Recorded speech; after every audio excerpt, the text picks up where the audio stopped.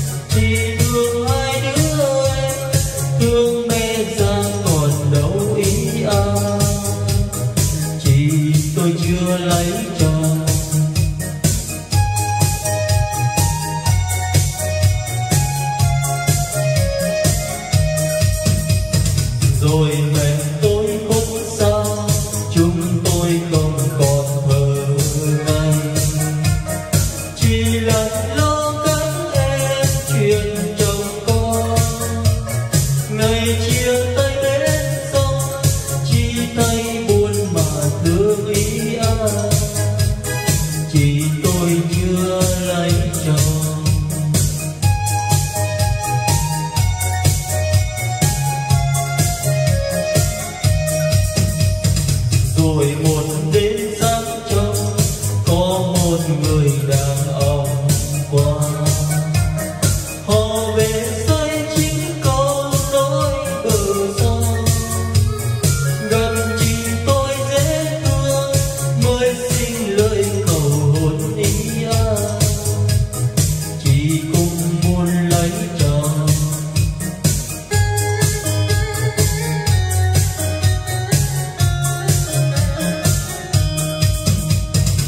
Cầu